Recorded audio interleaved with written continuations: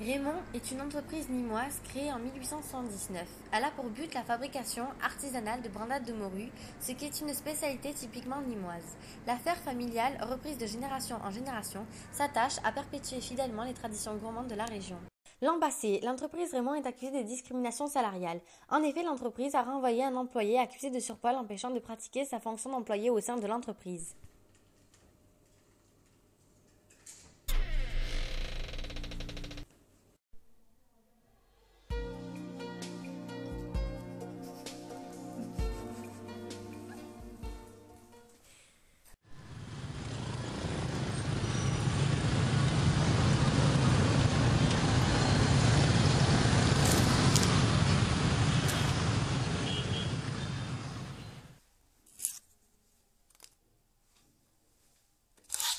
Charlie, actuellement SDF, ancien employé dans l'entreprise Raymond, à cause de son surpoids, décide de prendre rendez-vous chez le médecin.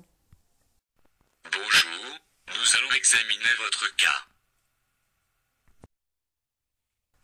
Regardez, là ne bougez plus. Ne bougez plus. C'est bien ce que je pensais. Vous êtes dans la dernière phase de la maladie. Je suis vraiment désolé. Après sa consultation, Charlie ressort le cœur plein de tristesse. Celui-ci a été diagnostiqué accro à la brandade de morue créée par l'entreprise Raymond. Heureusement que ses amis étaient là pour lui. Charlie, ne travaillant plus et n'ayant donc plus de revenus pour subvenir à ses besoins, décide de faire la manche.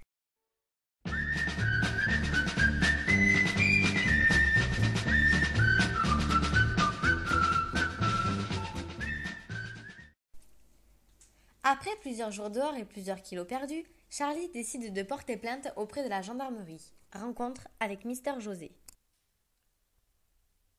Bonjour, commandant chef José, j'écoute votre déposition.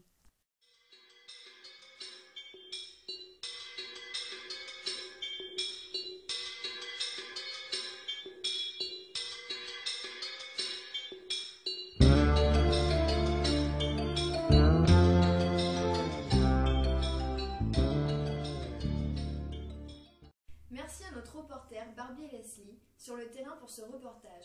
Merci de nous avoir suivis. C'était Vignal Justine sur le 20h. À bientôt sur TF1.